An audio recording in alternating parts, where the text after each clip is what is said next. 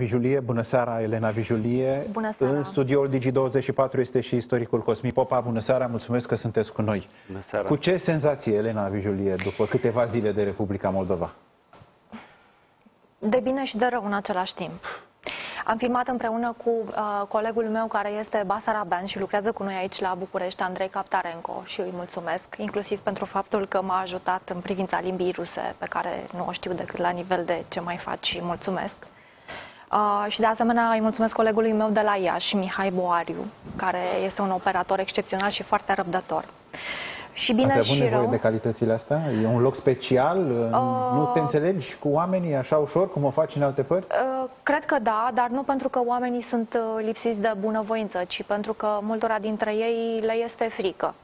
Um, Sigur, la Chișinău este mai simplu, pentru că uh, la Chișinău atmosfera este una cosmopolită și cu un aer european.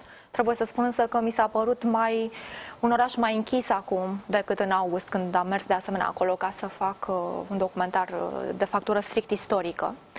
Uh, Pe de altă parte, aici ați văzut uh, imagini uh, filmate la Bălți, un oraș considerat uh, roșu și rusofon.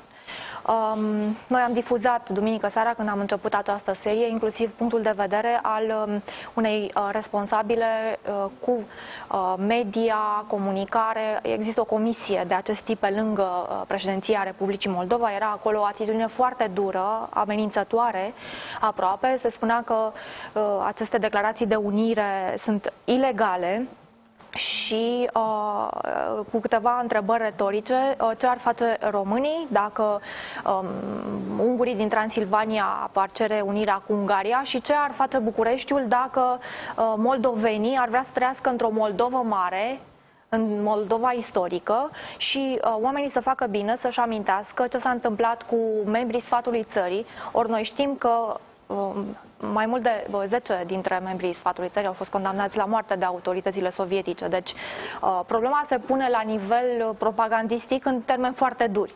Dar oamenii cu care am stat de vorbă la bălți, ruși, um, aș spune că um, nu au un astfel de discurs uh, vehement. Uh, vehement. Am văzut-o pe uh, acea uh, tânără femeie, Gabriela, care a trăit 12 ani în Rusia, Rusia, da. și spunea că ea preferă Rusia uh, pentru că este mai simplu să pleci să muncești acolo decât în România slash Uniunea uh, Europeană.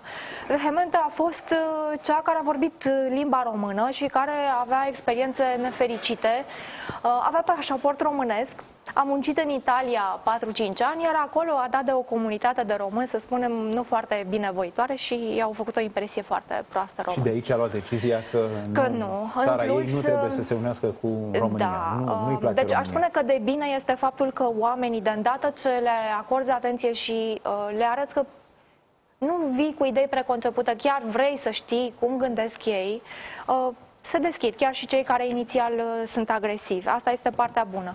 Partea uh, foarte greu de, de surmontat este această traumă foarte veche. Au, au trecut prin, prin lucruri îngrozitoare. Sigur și România, dar acolo închiderea în Uniunea Sovietică a fost teribilă. Um, și să nu uitau, au, au avut acel război de separare din 91-92 cu gloanțe și au murit oameni. Abia aștept relatările despre localitățile care și-au declarat uh, Da. uh, dorința de a se uni cu Am fost România. inclusiv- Unele chiar s-au declarat unite cu România. Am fost inclusiv în uh, satul de lui unde... Igor Dodon. Da, exact. A fost Incredibil. senzațional. Unde, te, unde ai stat de vorbă cu Dodoni.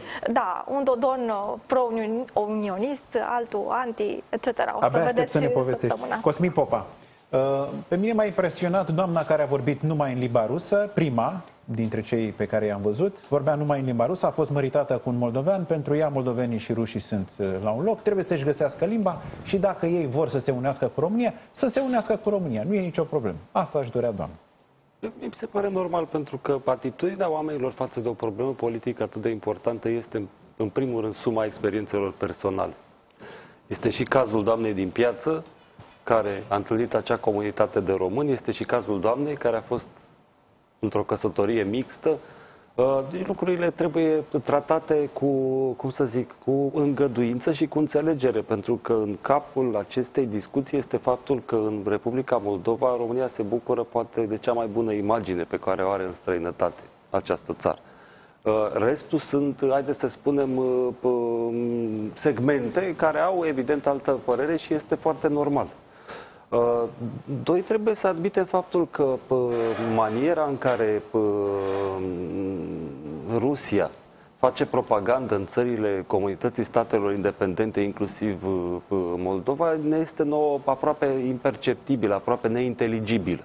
Pentru că ei gândesc în categorii tipice comunismului, uh, care a- a fost la noi destul de negru, însă noi ne-am păstrat identitatea națională. Acolo s-a petrecut un fenomen de deznaționalizare și un fenomen de simplificare până la extrema gândirii politice. Uh, Gândirea politică în țările estice nu poate fi gri. Nu putem avea amândoi dreptate într-o dispută. Acolo adevărul și dreptatea sunt situate net într-o parte sau alta, în funcție de unde privești. De aici această atitudine uh, aproape neinteligibilă pentru noi. De aceea cred că e foarte important să se uh, acționeze în Moldova uh, constant, consistent și inteligibil. Uh, pentru că uh, să știți că nu se vor schimba percepțiile agitând steaguri, uh, vorbind sfărăitor despre uh, unire, uh, dar nici desconsiderând ceea ce, se, ceea ce s-a întâmplat în aceste sate. Evident că p- p- domnul Meleșcanu își face treaba vorbind despre absența efectului juridic, dar am să, p- p- să spunem că nici decizia sfatului țării în 1918 nu avea efect juridic dacă era primită de dezmembrarea guvernul de Imperiului la Habsburgic Odessa, nu avea efect juridic. Nici adunarea de la Alba Iulia nu aveau efect juridic. Alea erau expresii ale voinței populare și au de circumstanțe, unor circumstanțe politice. Deci cred că să trebuie să-l lăsăm pe, pe domnul Meleșcanu să-și repete poezioara legată de efectul juridic, care oricum este o, un truism. Uh, uh, Dar, repet, e datoria dânsului să spună lucruri uh, clare din punct de vedere politic, să spunem, uh, și noi să tratăm ceea ce se întâmplă acolo ca ceea ce e, expresia unei voințe populare. Este cu noi și Ion Meioniță, redactor șef istoria, cu un număr special dedicat unirii de Este acum un 100 număr de ani. special, uh, Mâine 100 de ani. Da, a apărut chiar acum. Este istoria dedicat actului Unirii, Unirea Basarabiei cu România, 27 martie 1918, unde suntem după 100 de ani. Este și o radiografie a celor două țări, unde suntem după 100 de ani, ce înseamnă unionismul la Chișinău, uh, pentru că sunt mai multe feluri de Să unionism. luăm în seamă? Da. că Unionismul ăsta a Sigur, manifestat la Chișinău în sigur, stradă nu- 7000 de oameni. Da, 7000, puteau să fie și 5, puteau să fie și 10. Trebuie luat în seamă, pentru că este un fenomen care uh, se manifestă. Deja, acum câțiva ani nu era. Acum câțiva ani nu era. Nu se mai discuta.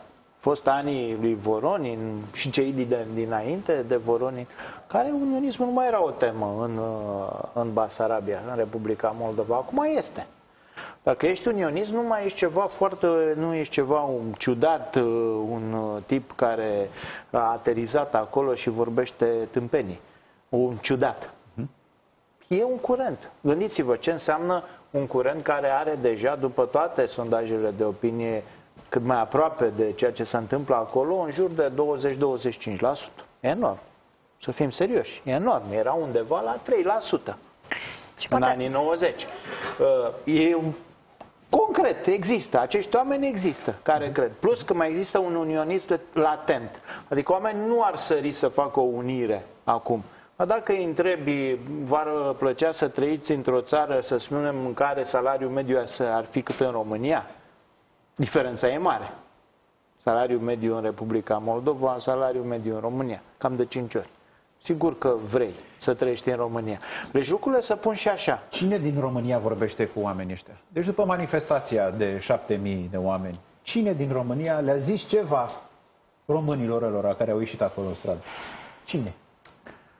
Păi nu prea le-a zis nimeni nimic. Cu excepția lui Traian Băsescu. Bine, Traian Băsescu era acolo. Da, a fost Deci acolo. îl Am Dar găsim, văzut cum urca așteptăm, pe scenă. găsim, uh, pe așteptăm scenă. mâine, nu-i așa, această ședință solemnă a Parlamentului, um, care trebuie să dea sau va da implicit un mesaj acestor, acestor oameni care așteaptă foarte mult. Poate ar fi important să spunem că declarațiile de unire sunt făcute și în comune, și în orașe și există trei raioane la, în care, adică județe, uh, unde consiliile locale au votat aceste declarații de unire, deci, dar sunt mesaje de jos în sus. Asta mi s-a spus peste tot unde am mers, că oamenii s-au săturat de politicieni, inclusiv de cei pro-europeni, despre care s-a dovedit în ultimii ani că sunt corupți. A dispărut un miliard de dolari din trei bănci ale, uh, din Republica Moldova, un fel de bancorex uh, din uh, România. Deci oamenii s-au săturat de toți politicienii și pentru că nu văd alternativă, vor unirea cu România. Există și comunități unde sentimentul național, în ciuda tuturor problemelor, s-a păstrat și acolo, să spunem, conștiința națională este um, mai vizibilă.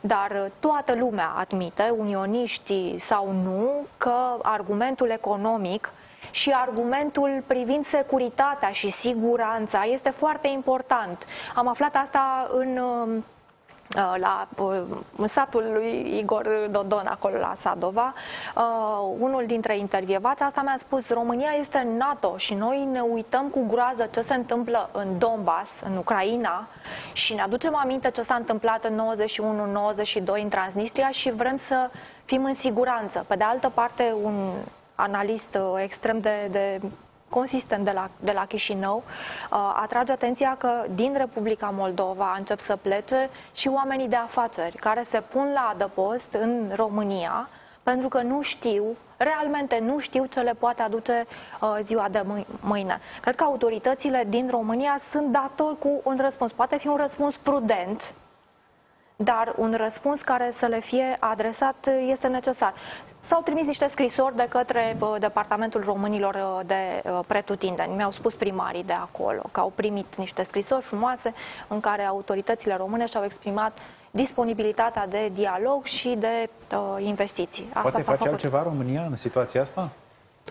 Uh, poate face multe. Eu v-aș întoarce întrebarea cine le vorbește românilor, uh, ca să le, pentru că am văzut, am avut o mostră despre cum Cine vorbesc. le vorbește românilor de aici? Da, cine le vorbește românilor de aici. Am avut de curând o mostră de uh, vorbire a unei persoane cu o funcție importantă în stat, și anume doamna prim-ministru ați văzut cum se exprimă incalificabil din punctul meu de vedere, puneți-vă întrebarea cam la ce nivel este conceptualizarea acestei persoane, dacă se exprimă cum se exprimă.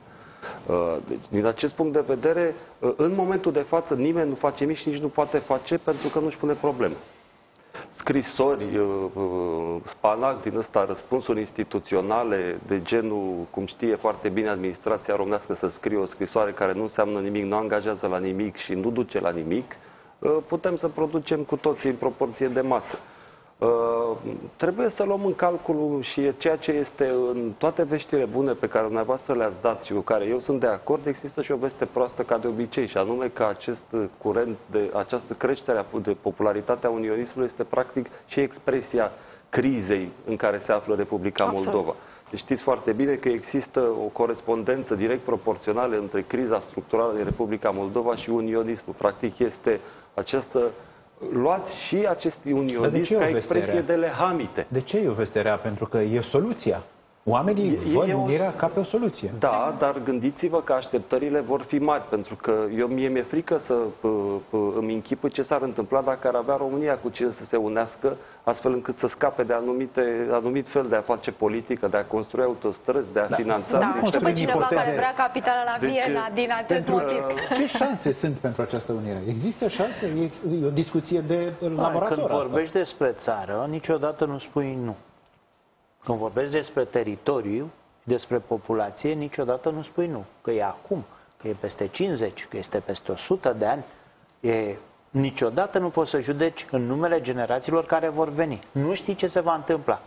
Nu. Cu trei luni înainte de unirea din 27 martie știa cineva ce se va întâmpla?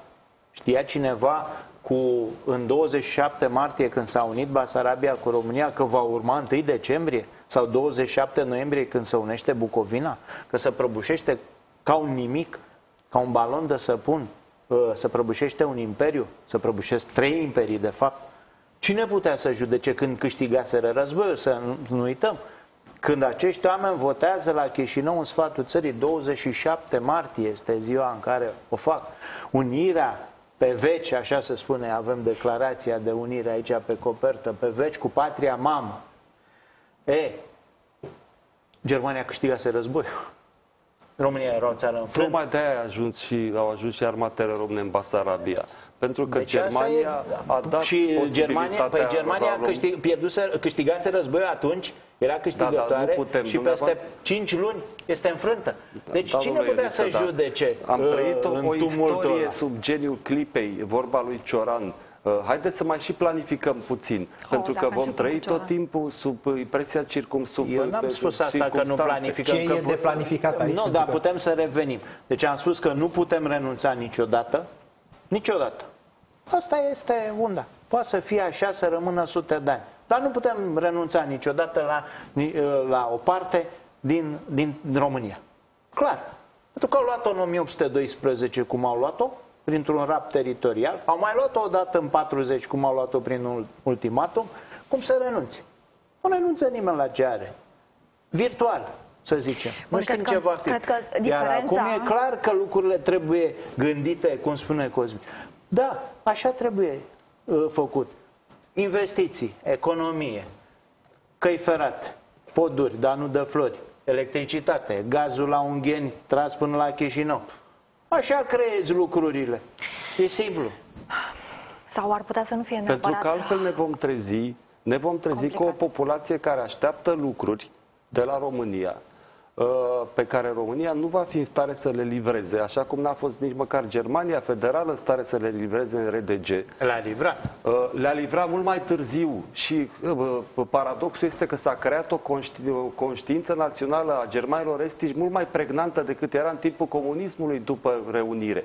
Uh, pentru că uh, nu mai discut aici despre ruși, pentru că în proporție 80% rușii din uh, Moldova vor accepta unirea, exact în virtutea acestor avantaje de ordin material și a unei vieți ceva mai organizate decât în Moldova, care este o aspirație umană, vorba iluminiștilor. Aici nu ține Și a de Constituției națiune. americane, nu Și a- Pursuit of Happiness. Deci oamenii vor să, să aibă o viață bună și interesează foarte mult asta. Uh, Două lucruri aș vrea să spun. În primul rând, uh, atunci când uh, Carol I uh, calcula pașii în izbucnise primul război mondial, vrea să meargă cu puterile centrale, da? Um, avea în vedere inclusiv Basarabia, dovadă că statul român a finanțat inclusiv revista lui Stere, Basarabia, singura revistă de limba română apărută în secolul 20 în, la Chișinău. Deci autoritățile române aveau în vedere, aveau acest plan. Cum au avut acest plan și pentru Transilvania, chiar dacă eram aliați atunci, nu cu Aust- Austro-Ungaria și cu Germania. Deci vreau să spun că exista o planificare a statului român pentru preluarea provinciilor istorice. Bun, am intrat în primul război mondial pentru Transilvania, dar la momentul la care, când a apărut posibilitatea lipirii uh, Basarabiei, uh, liderii de atunci au fost, po- au fost capabili să primească această oportunitate și să o folosească. Erau condiții, sigur, foarte grele. Izbucnise Revoluția Rusă. Deci acesta un aspect, că autoritățile de la București ar fi bine să fie pregătite pentru mai multe variante. În al doilea rând, uh, apropo de uh, gaz. În acest moment, cetățenii Republicii Moldova plătesc factura Gazprom de cel puțin două ori. Pentru că centralele electrice sunt numai în Transnistria. Pentru Transnistria. Bun, aceste centrale electrice care alimentează Basarabia, mă rog, Republica Moldova, uh, sunt plătite nu de, prin facturi de către utilizatorii casnici și industriali. Dar Transnistria nu plătește materia primă către Gazprom. Nu plătește deloc. Factura Gazprom pentru materia primă trimise acestor um, instalații um, energetice din Transnistria apare la Chișinău. Înțeleg că datoria publică a Republicii Moldova este de 6,5 miliarde de uh, euro și 6 miliarde din această datorie provine de la Transnistria. Ori, în aceste condiții, e clar că avem de-a face cu o dependență acută a Republicii Moldova de gazul rusesc, mai pregnantă decât România, care are totuși alternative și este conectată la sistemul E energetic clar, european. Cosmin Popa, ce vrea Bucureștiul aici? Nu. Nu, nu e clar. Mă, mie îmi place că, știți, eu sunt de profesie istoric și uneori am senzația că m-am săturat de istorie, dar îmi place să-i urmăresc pe, pe, pe colegii mei, accentuând așa um, aceste fenomene istorice, dar cred că acum nu mai putem face unirea ca în 1918. Acum și nici ca în 1991. Și acum avem cetățeni și în Republica Moldova și în România. Nu avem uh, o masă țărănească analfabetă, avem oameni cu așteptări, avem oameni cu dorințe.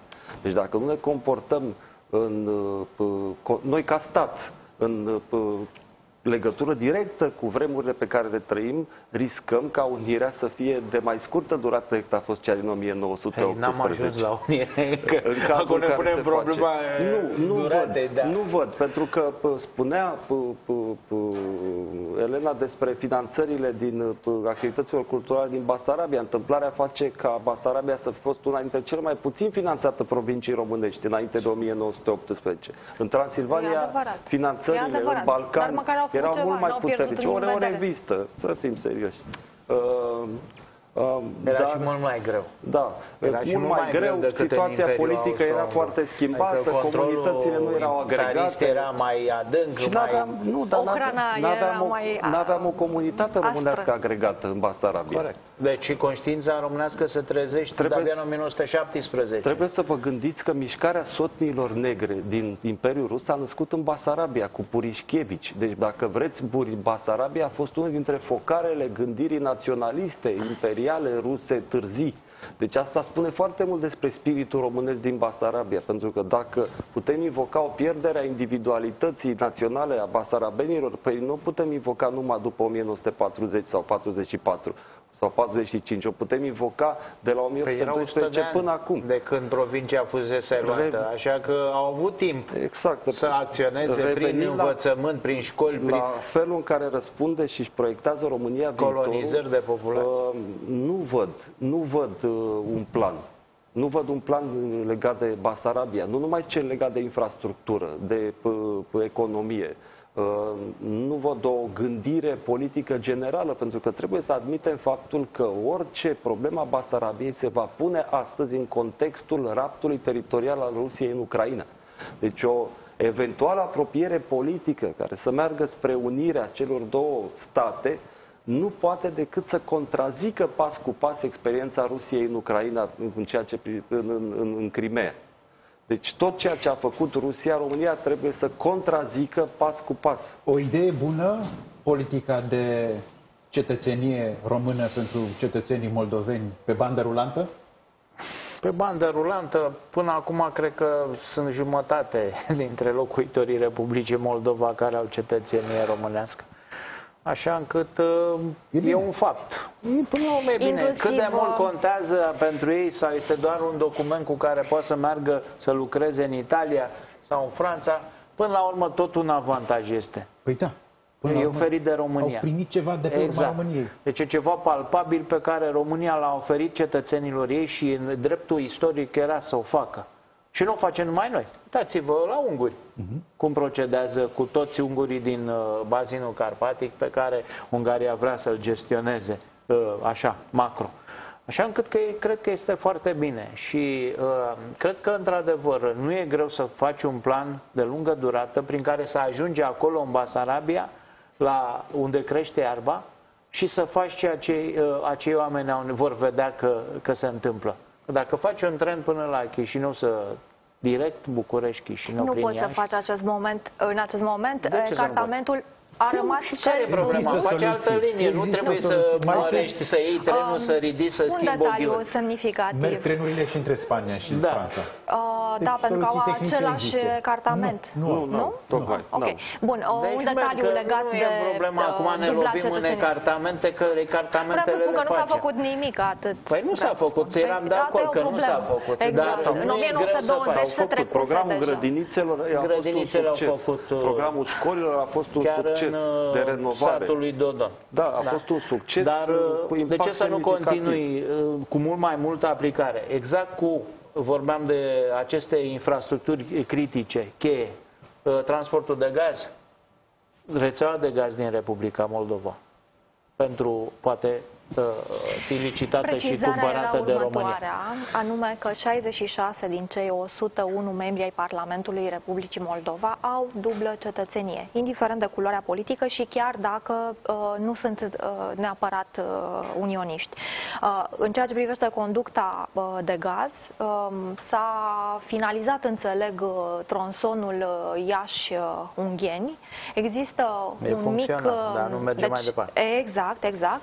Um, Miercuri, în ultima uh, zi a termenului, adică pe 28 martie, uh, se va semna în sfârșit un contract de privatizare. Eurotransgaz, companie românească a Transgaz, uh, cumpără uh, procesul propriu-zis de finalizare sau, mă rog, uh, concursul a fost câștigat la sfârșitul lui februarie, uh, iar contractul, cum spuneam, pe 28 martie, cumpără așa numita companie uh, Vest Mol Mol, da. Transgaz, uh, care deține 12 km foarte importanți în apropiere de Ungheni, după care urmează încă 133 de kilometri ce trebuie făcuți de uh, această Eurotransgaz, companie românească. Ce vreau să spun cu asta?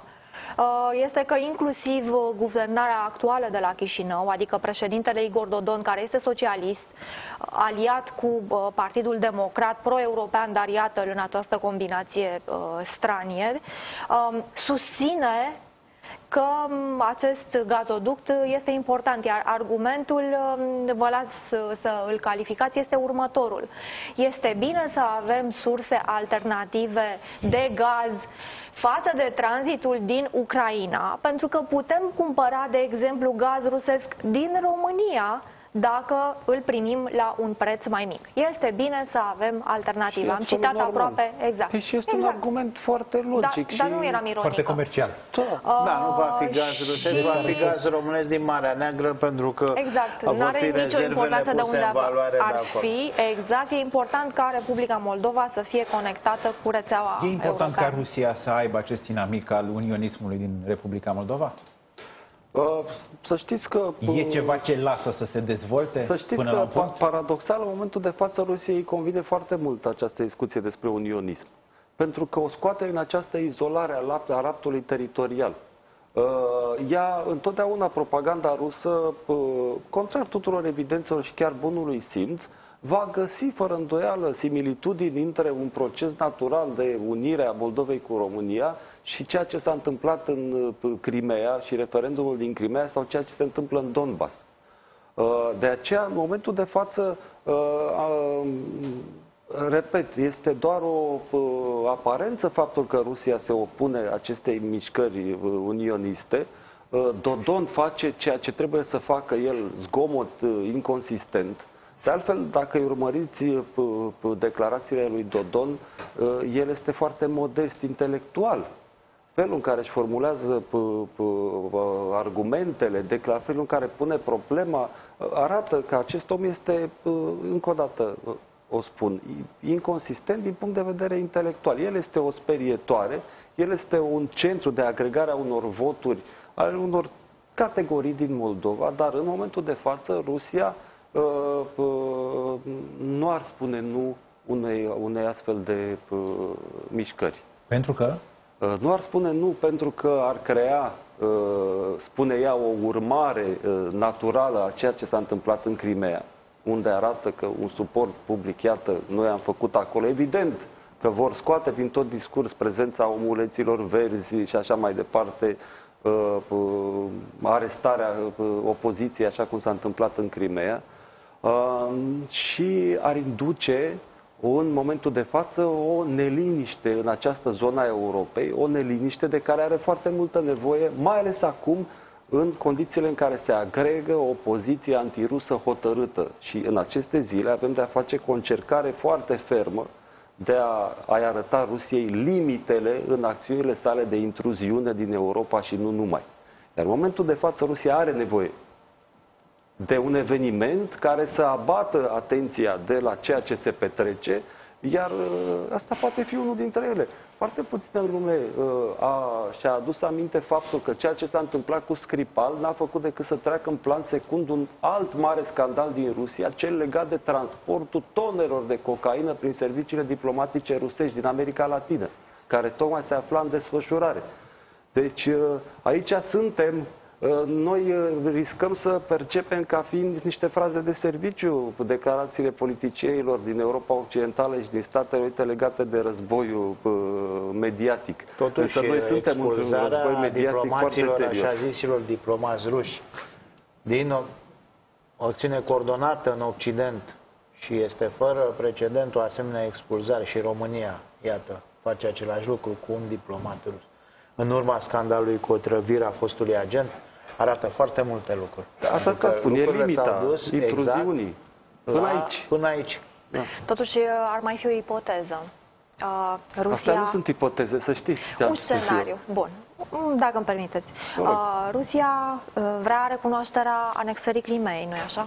Vrea asta foarte mult. Este foarte departe acest pas, având în vedere relațiile Moscovei cu Occidentul în acest moment. Suntem la un pas de criză sau suntem la, într-o criză diplomatică. Na, mă fără să calific uh, situația Au actuală. făcut alții. E criză. Dar uh, este... Unii spun chiar război. Bun, perfect. Um, sau Rece. Da, rece, absolut. Bun. Uh, ne putem imagina uh, Rusia dând înapoi uh, în Crimea? Nu. Mă tem că nu. Atunci are nevoie să de multă negocieze. imaginație. Exact. Eu nu am atâta imaginație. Îmi imaginez mai degrabă că uh, Rusia va păstra Crimea. Are nevoie de recunoașterea acestei anexări. De obicei, astfel de lucruri se negociază. Ce poate da Rusia la schimb pentru Crimea? Mai multe lucruri. Uh, Pe termen mediu și lung, uh, Europa este interesată în continuare, nu-i așa, de gurile Dunării? Deci eu, De- eu, eu, eu nu v-am pierdut. Întreb. Puteți să detaliați acest... Da, pot să detaliez. Vă rog. Pare o ipoteză simplistă, nu-i așa? Dar nu, se n-am- eu n-am negociază calificat inclusiv într-un fel. teritorii? Eu nu mă ridic la înălțimea ei. Am spus, nu v-am, v-am pierdut. Bun, deci o luăm de la capăt. Crimea, Rusia vrea Crimea, vrea recunoașterea Am înțeles. anexării Și Crimeei. pentru asta s-ar face o Bun. negociere. O negociere. În- în- Ce poate să pună Occidentul sau în această negociere, care este chiar în aceste zile critice ale relațiilor dintre Rusia și Uniunea Nu Europeană? e posibil în în curs, 2018 ia tu asta, iau eu asta? uh, oh, absolut. În 2018. Absolut, absolut. Um, natura umană să nu ia se ce? schimbă. Dar- dar Natura ce să ia umană Rusia? nu Că nu se îi aparține schimbă. nimic Rusiei. Adică- Lucrurile, centrele de putere, um, cum să spun, metodele de negociere.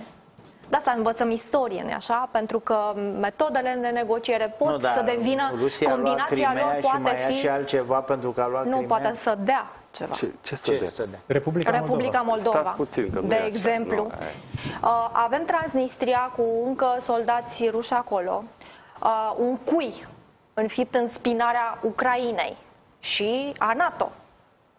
Uh, E foarte ușor de ajuns până la urmă dacă te hotărăști, inclusiv la București, deși drumurile sunt proaste. Exagerez, dar aș vrea să conturez totuși acest uh, Un raționament. scenariu, ok. Bun, un scenariu, cum i-am spus. Uh, bun. Uh, la un moment dat, aceste probleme se pun. Eu sunt convinsă că se pun și în acest moment, la nivel de scenariu. Am văzut în Republica Moldova, în zecile, sutele de kilometri de drum prost, ca după bombardament, câteva zeci de kilometri de drum bun, foarte bun și panouri pe care scria prin ajutorul poporului american, prin ajutorul Uniunii Europene. Occidentul, deși prudent, este prezent acolo. Nu cred că lucrurile pot fi trecute cu vederea. Nu spun că aceste negocieri teritoriale se pot întâmpla mâine, nici vorbă. Da, avem acele negocieri sub egida OSCE 5 plus 2, da, legate de Transnistria, care au stagnat și în acest moment sunt puțin probabil, e puțin probabil că vor fi reluate, deci vom asista la o altă rundă de negocieri, dată fiind agenda zilei în relațiile cu Vladimir Putin și Rusia. Da? Dar la un moment dat lucrurile acestea ar putea fi discutate, cum uh, spunea aici Ion Meioniță. Niciodată nu știm când și cum și de ce, dar ar fi bine să fim pregătiți. Și încă un aspect și mă opresc legat de populație. Politica dublei cetățenii. Uh, A fost foarte folositoare cetățenilor Republicii Moldova pentru că pot să muncească în România și în alte state membre ale Uniunii Europene. Dar la Chișinău, lucrurile sunt pe cale să se schimbe din punctul de vedere al proporției populației de la Chișinău, pentru că au plecat populația educată, acolo sunt case goale, multe, și, în definitiv, se poate schimba și compoziția etnică a orașului, cu consecințe politice. Deci România trebuie să ia în calcul, dacă vrea, ca acest teritoriu dintre Prut și Nistru să rămână românesc plus moldovenesc, cum își spun unii dintre ei, plus ucrainian plus rusesc, sau vrea ca teritoriul dintre Prut și Nistru, în 20 de ani, să fie un teritoriu exclusiv rusesc sau ucrainian sau poate cu o minoritate chineză. Nu sunteți de Unde acord? să Cosmin fie Popov? rusesc, că 5% Bă, etnici nu, ruși e- în uh, Moldova. În Poate momentul fi de orice față. în politică, numai că, din, din păcate pentru Moldova, uh, efectele ocupării Crimeei de către Rusia au, sunt de ordin regional. Ele nu pot fi contrabalansate printr-o ipotetică negociere în Moldova. Practic, uh, după ocuparea Crimeei, Transnistria a scăzut foarte mult în importanță pentru Rusia.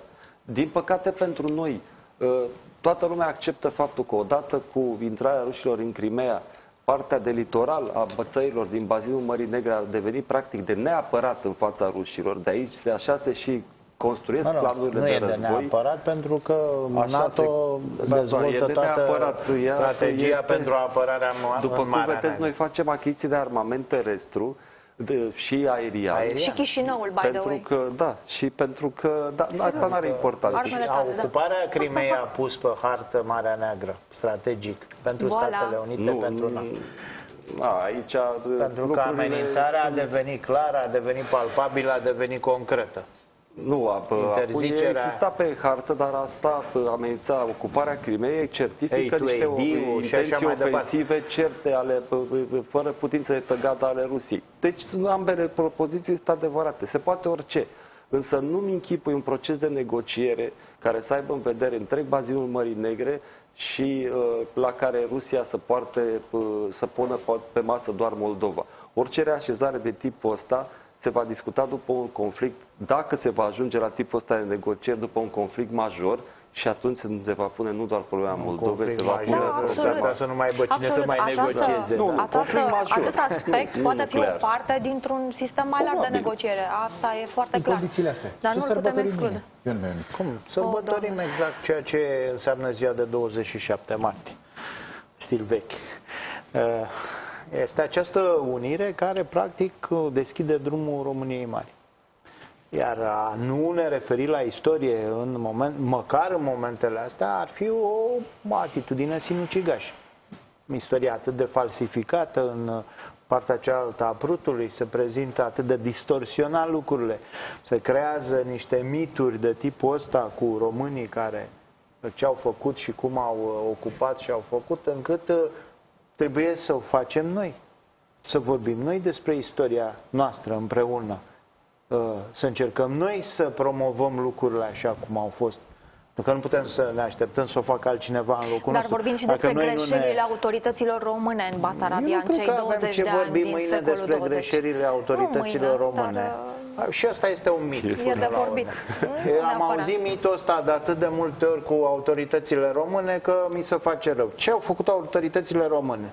Au făcut școli, au făcut trenuri, e adevărat că se circula la Chișinău cu trenul în anii 30 mai repede decât se circulă astăzi. Au făcut licee, toată infrastructura din Republica Moldova de astăzi cum era înainte, este făcută în timpul României Mari și trebuie să o spunem, pentru că România Mare a investit în Basarabia, a fost mitul ăla că a venit jandarmul român și nu știu ce a făcut și că autoritățile române nu știu ce făceau pe Nu, nu mă acolo. refer la nu asta. erau autoritățile române, Nu. uh, autoritățile germane sau franceze din vremea aia și birou. Nu funcționează nici astăzi statul Nu mă român. refer la, adică, mă ce refer la să- izolarea politicienilor din Basarabia pe scena politică Politicienii din din Basarabia București au fost în în, perioada elita interbelică. politică românească La și au asta mă murit refer. în pușcările comuniste Și asta după e foarte unire. Cei adevărat. care, uitați-vă aici, cin, Pan Halipa, Inculeț, cei care au făcut unirea și nu numai cu Basarabia, și cu Ardealul, au murit în pușcăriile comuniste.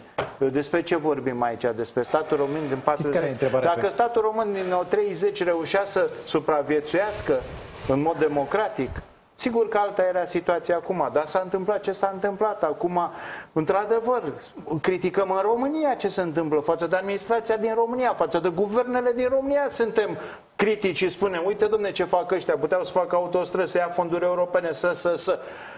Dar totuși, trebuie să spunem și ce este România, că nu se mai compară cu România din 1990 că România începe să aibă un nivel de trai care este uh, apropiat în unele zone, chiar depășește uh, media Uniunii Europene, Da, că să cunosc niște lucruri care s-au întâmplat în 20 de ani, în 10 ani de când suntem membri ai Uniunii Asta Europene. este una dintre marile realizări ale calculării statistice a salariului brut. Că am depășit media europeană la venituri. Haideți pe bune. S- S-au făcut progrese. Dar dacă avem ce sărbători, mine avem ce sărbători, uh, dar eu România mi-aș dori devine ca o asta țară să fie atractivă. Asta este începutul- important pentru începutul Republica unei Moldova. politici adresată în special oamenilor din Basarabia. Pentru că dacă este ceva mai de preț în Basarabia, având în vedere și criza demografică prin care trece România, este rezervorul uman pe care îl are România. De oameni de cultură apropiată, de religie apropiată, uh, de mentalități apropiate și asta este marea noastră șansă. Deci Apropo- dacă avem o politică de făcut, o avem de făcut o politică pentru oameni și de-abia apoi pentru teritoriu. Elena. Um, creștinii din Basarabia, creștinii ortodoxi, cei mai mulți dintre ei, sunt um, um, în parohia um, Bisericii Ortodoxe Ruse. Îl recunosc ca patriarh pe patriarhul uh, Rusiei. Al, Kiril. da, exact, Kiril. Kiril. Uh, o mică parte din comunitățile ortodoxe din Basarabia țin de uh, Petru. mitropolia uh, Basarabiei. Basarabiei. Exact.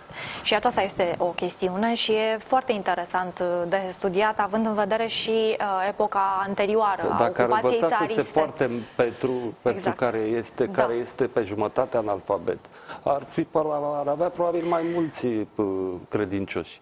Mm, Uh, Acolo e și o chestiune de organizare a bisericii, Sigur. de felul în care se comportă Dar cu și acele mesajele care comunități vin din și de partea mesaje Patriarhiei care vin de Române. acolo. Adică Da. dacă vom intra, apropo de greșeli, dacă vom intra în mă- măruntaiele unor lucruri, vom vedea, vom afla chestiuni de care ne vom speria. Pentru că ne punem întrebarea, nu, nu sunt moldovenii proruși, nu mor de dragul lui Putin chiar așa toți. Dar ideea mor se, nici rușii problema de se dragul pune lui dacă Putin ai ce toți. iubi în alte parte, în altă parte. Că de Da, fapt asta e tragedia ideea, acolo că este poți un să singur faci din referențial. România, poți să faci o țară, un, un loc atractiv pentru, pentru românii din uh, Republica Moldova. Și pentru românii Și de aici. este. Și, și în principal pentru românii de aici. Dar este deja. Pentru că, haideți, faceți exercițiul ăsta, mergeți dincolo și veniți în România. Așa e, așa și e. m, diferențele sunt uriașe când te întorci după, după ce ai mers cu uh, În microbuzele legătură alea cu pe asta, Republica uh, Moldova. intrarea în orașul Bălți, venind dinspre uh, Chișinău, uh, mi-a adus aminte de un oraș de provincie din România din anii 1993-94. Dacă intrați în București dinspre sud, de unde vin eu, dinspre Berceni, de pe Jilava, Da, da, în o să 20 de ani fiți- se rezolvă. Uh, ce glumă, nu, mie mi s-a părut mult mai dur. Uh, V-ați obișnuit Nu e o dumneavoastră cu glumă, e o Berceni. declarație oficială. Vă Păi tocmai mulțumesc că nu m-am tuturor. obișnuit. Vă mulțumesc. Scurtă pauză, ne întoarcem. Ok.